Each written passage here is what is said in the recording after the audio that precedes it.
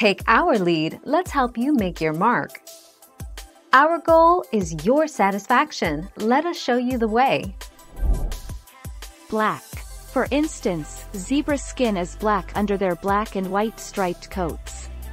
Giraffe skin is a uniform light tan that's similar in color to that of its coat, and its patterns are not visible. Mads Bertilsson, a materials scientist at Denmark's Copenhagen University, says via email. Read Why Zebras Have Stripes, the 4th of March 2017.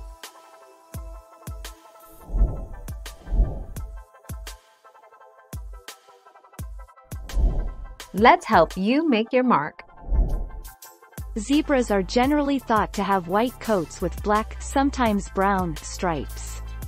That's because if you look at most zebras, the stripes end on their belly and toward the inside of the legs, and the rest is all white.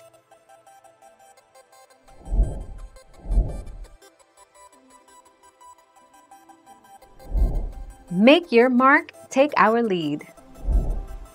There are three definite colors of tigers, standard orange with black stripes, white with black or dark stripes, and the golden tiger with cinnamon stripes.